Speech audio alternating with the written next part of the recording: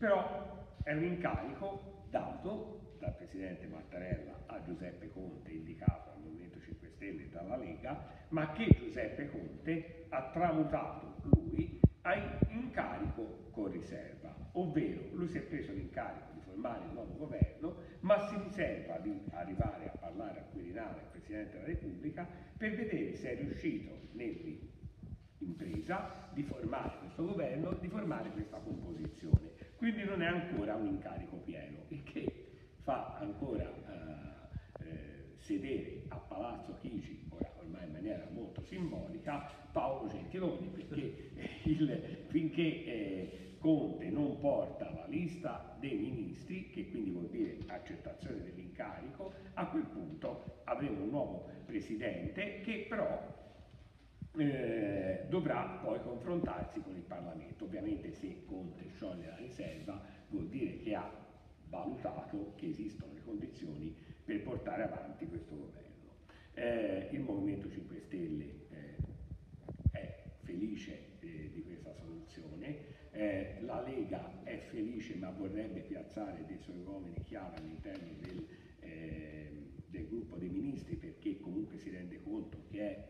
un eh, presidente che è a metà tra il tecnico e il politico e fa parte comunque del eh, gruppo Movimento 5 Stelle, eh, la Meloni ha bocciato questo esecutivo, ha bocciato la scelta di Salvini definendo Conte il monte di, eh, il Monti di, eh, del Movimento 5 Stelle come monte, quindi Conte equiparabile a Monti, Monti espressione di una scelta del PD, Conte del Movimento 5 Stelle. Salvini invece dice che Conte può essere un'ottima soluzione, però va appoggiato da un dicastero economico che abbia un chiaro eh, indirizzo leghista e si continua a uh, dibattere, forse la riserva è proprio su questo, sul nome di eh, Paolo Savona, che è uno studioso di livello ma non è mai stato così famoso come in questi giorni dei suoi 82 anni di vita, eh, perché eh, Savona non è eh, amato dal Colle, mentre dal Colle sarebbe amato un altro leghista, appunto che è eh, Giorgetti. Il, eh, Conte ha detto che sarà eh, l'avvocato del popolo italiano, io mi permetto di dire che io gli avvocati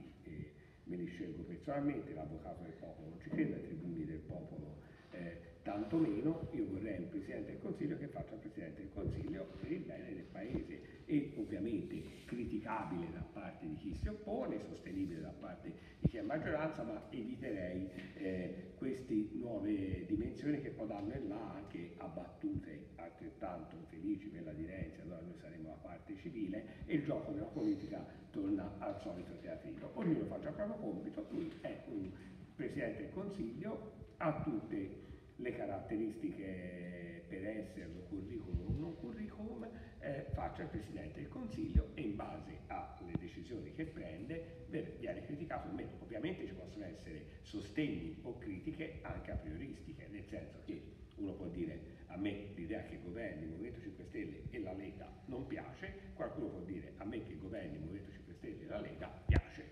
Quindi poi arriveranno valutazioni anche sui fatti che verranno portati avanti, però io sono anche contrario alla politica dei fatti. La politica è anche una composizione ideale, altrimenti finisce eh, il suo spessore. Ora lui eh, quindi è atteso eh, al Quirinale per chiudere questo, eh, siamo arrivati quindi a un nome, a un incarico, un passo avanti è stato fatto, ci sono state moltissime critiche a Mattarella, specialmente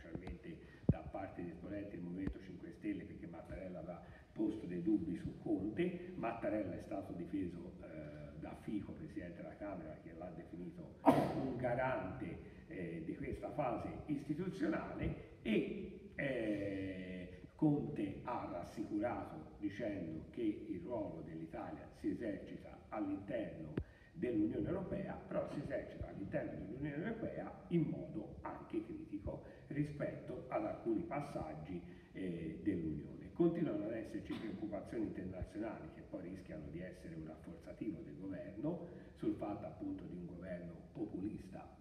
Cosa vuol dire? Eh, non lo so, è un governo anti-europeista però se l'Europa deve diventare un dogma che chiunque critica non ha diritto di governare nemmeno se vince, non siamo più in democrazia. Quindi l'europeismo ha un senso, può avere un senso anche l'anti-europeismo, altrimenti siamo nel dogma, perché se si dice ci si deve credere a prescindere, deve essere così, allora eh, è inutile anche fare le elezioni, fare questo. È vero che la collocazione internazionale non può essere semplicemente decisa da una maggioranza che non ha vinto neppure chiaramente alle elezioni e di questo però Conte mi è sembrato consapevole nel brevissimo discorso eh, che ha fatto dopo aver, ricevuto l'incarico. Stop.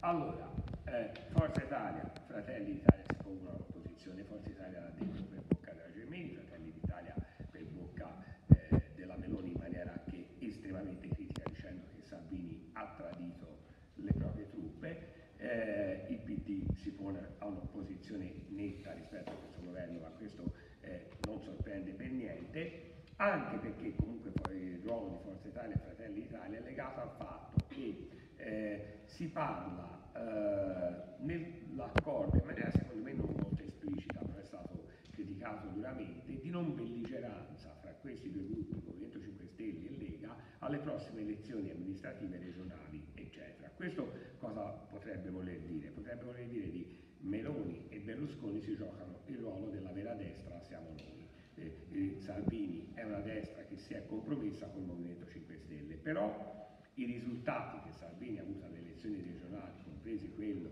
eh, della Valle d'Aosta ora, vedono un incremento enorme eh, dei voti della Lega. Questo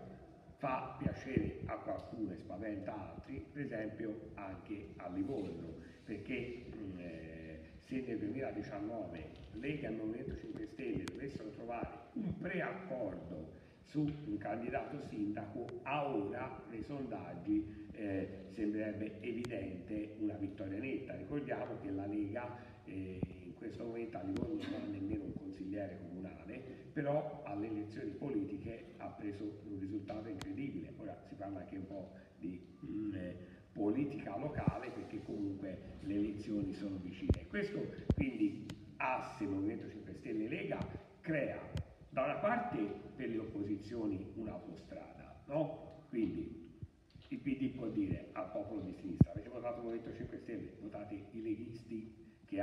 sono razzisti, eccetera. Può dire alla destra, la vera destra siamo noi, questa è l'autostrada, ma può creare anche un asse, perché se si dovesse realizzare una luna di miele con il governo, nel senso che il governo fa magari delle misure che piacciono, alla gran parte della popolazione, questo schema potrebbe essere uno schema che poi viene ripresentato. Qualcuno vede in questo schema un pericolo per la democrazia, per i valori costituzionali, eccetera, per, per altri invece è uno schema che comunque ha destabilizzato un sistema e in questo senso è positivo. Eh, come evidenzia un grande studente, cioè questo potrebbe essere anche eh, un'ulteriore tappa del sistema bloccato o la tappa di sblocco del sistema, no? nel senso cioè, che di fronte all'impasse si realizza un blocco che mette i chiari paletti sul fatto che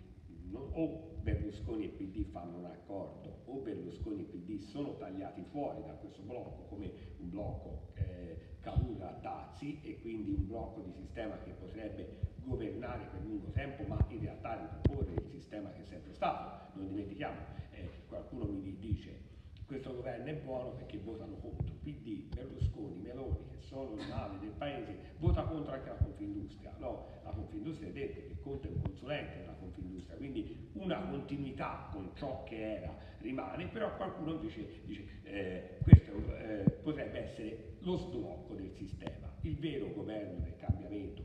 dice Luigi Di Maio, non sarà più uguale alla politica, una politica nuova, vicina ai cittadini e finalmente quel blocco di sistema che si è creato nel 1852 si sblocca, mentre altri, come vi ho detto, dicono no, questa è una tappa che blocca ulteriormente il, il sistema italiano.